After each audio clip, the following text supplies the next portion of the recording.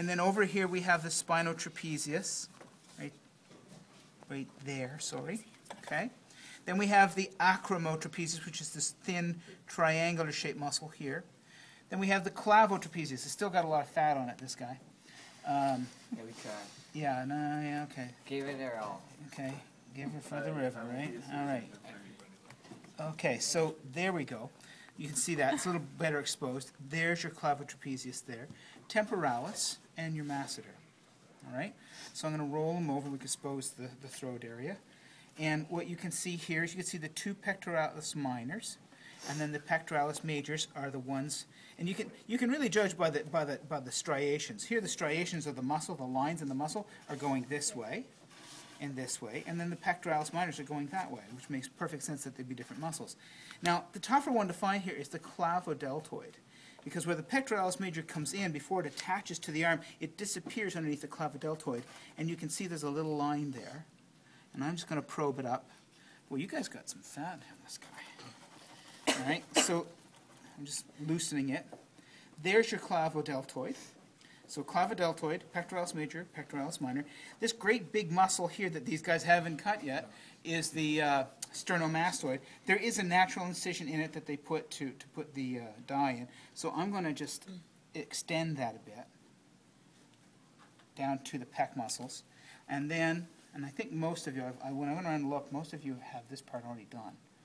So I'm going to sort of pull that apart as best I can, and I'm going to go up, all right, to the jaw, and then I'm going to, oh, it won't be too bad, but, oh, you know, what's a little mink between friends, right? All right, so I'm going to open that up, and what you are going to see are the two ribbon-like sternohyoids underneath the sternomastoid. Boy, he's well put together. Okay, and there they are there. Okay, see them? Those two ribbon-like muscles? And they're actually joined together. You can separate them if you want to remember that they're two ribbon-like muscles. There. Okay, and then underneath that is obviously the trachea. Those two sternohyoids come up and they connect. And where they connect, you, my finger getting in the way, is right here. They connect at this muscle, which is the mylohyoid. So the two sternohyoids come up and connect at the mylohyoid. And then on both sides of the mylohyoid, here and here, that's where the digastric muscles are. So digastric, digastric, mylohyoid, sternohyoid, trachea, sternomastoid, clavodeltoid, pectoralis major, pectoralis minor. T99 to the office, please. T99. And then the ones I already mentioned, dorsoepitrochlearis, triceps long, triceps lateral, dors, um, latissimus dorsi, spinotrapezius, acromotrapezius, clavotrapezius, temporalis, and masseter. And once you've got that done, then last day's muscles are complete. Okay? So now to do this week's muscles, could someone turn the page to the next page? Thank you. Just lay it out. So if, we, if we're going to look here, what we've got toward the back is we have internal abdominal obliques and external abdominal obliques. They're really easy to see. Uh, when I, there's no, really no probing to do here.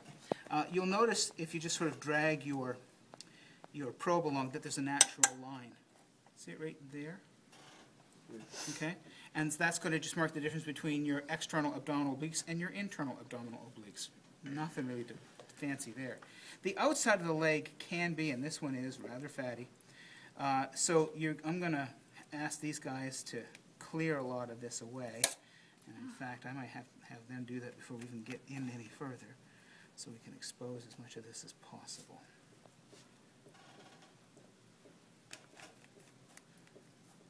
Okay. All right. And what we're looking for here are, is the sartorius and the semitendinosus, which is pretty straightforward. The semitendinosus is kind of like the dorsoepitrochlearis. Look, it attaches right to the outer part of this leg. There it is. See it? Okay, so there's your sartorius right there on the outside part of the leg. Now, in previous years, we've had more time. We've done all these small muscles in here. We're not going to do them this year.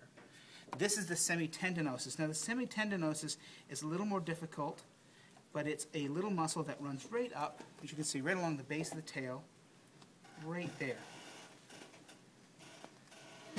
Okay, so there's your semitendinosus, there's your sartorius.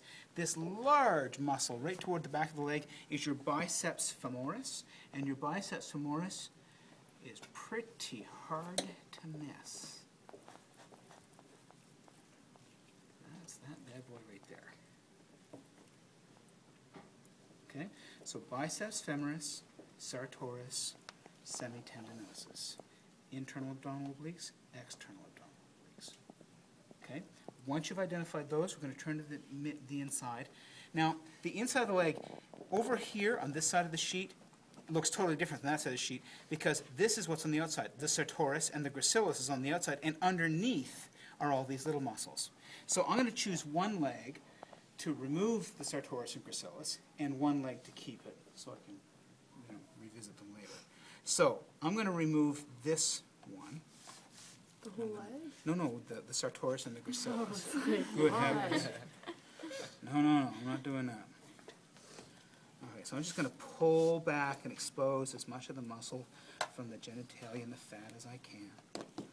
Okay, so, um, someone have a scalpel handy? Or a pair of scissors? If not, could someone get me a pair? Okay. So, thank you. So what I'm doing is I'm putting the probe, there's a natural line between the sartorius and the gracilis, right there, and I'm gonna put my probe underneath of that and get right up under the sartorius when I, where I saw it on the other side. Remember when I showed it to you? So there we go. And what I'm gonna do is I stuck my probe in now, so now I know I'm not gonna go too deep. I'm just gonna go to my probe with the scissor, or scalpel, whatever you wanna use. There. Okay, that way I'm not cutting, you know, too deep. And then I'm gonna peel that right back, like that. Like I'm peeling a banana. Oh, Mr. B, ready to get your bananas. Okay, so we'll get that right back. You might wanna consider another store. All right, and then this is obviously my gracilis right here. And again, don't go too deep. All right. And as soon as I can get, there it is. Oh, and when to get my sartorius, I'm going to simply cut that free. And then pull that back. Okay. Ta-da. Okay, now I've exposed the inner part of the leg. You got to be careful with this diagram and look closely, because the first muscle is the rectus femoris, and that is the one that is right here, right at the top, very obvious, right at the top. The next one down you would think is the adductor uh, longus, but it's not. That's deeper in. The next one down is actually the third muscle listed, the vastus medialis. So have a look here, because this can get a little tricky. Here's your, um, your rectus femoris. Attached directly to it is this little thin groin muscle right here. It's literally attached right to the rectus femoris. And that is your vastus medialis. Okay? Right there. Got it? Okay? So now how do we get some of these deeper ones? There's an adductor longus and an adductor brevis. Obviously one's long and one's brief. Um, so what I'm doing, and I'm going to get your gloves on there, Evan, grab his torso and, and kind of wrench it towards you. Yeah, just kind of wrench it toward, pull him this way. No, yeah, there we go. All right, so that sort of exposes more here. What I have to do is there's some nervous tissue and vascular tissue right here, and I'm going to get rid of that. See, you can see, yeah, no, I've got it, because that's all the latex. All that red stuff is the red latex that they put in those arteries and veins. And I'm rolling that forward. And what I'm going to see when I do that is I'm exposing two muscles underneath. One is rather long and quite deep, right there. How many people know who Elvis Stojko is? Who is he? Oh my God, really? Am I that old? Elvis Stojko. Not a clue? He's a Canadian figure skater, and he came, oh God, you guys, at the Olympics, and he came, he got the silver medal because he pulled a groin muscle. That's the one he pulled. That's his adductor longus right there. This mink would never go into figure skating. All right, so there's the adductor longus, it's the deep one. Right next to it is the adductor brevis. Now, you gotta be careful with this one. it's another triangular muscle, and it's right there. So there is the longest. It's actually quite thin but long. Then there's the adductor brevis, which you see right there. And then this great big one here is called the semimembranosus. This is the biggest muscle inside here. Great big one. And then there's the semitendinosus. Remember the semitendinosus we found on the outside? Well, it actually comes right down and comes up through here. It's the same muscle. So here's your semitendinosus, semimembranosus, adductor brevis, adductor longus, vastus medialis, rectus femoris, sartorius gracilis, which I've removed over here. Okay, so sartorius gracilis, which are gone, rectus femoris, vastus medialis, adductor long, adductor brevis, semimembranosus, semitendinosus. Okay. And that does your inside leg. If you get to the end of that today, all your muscles are done. Okay?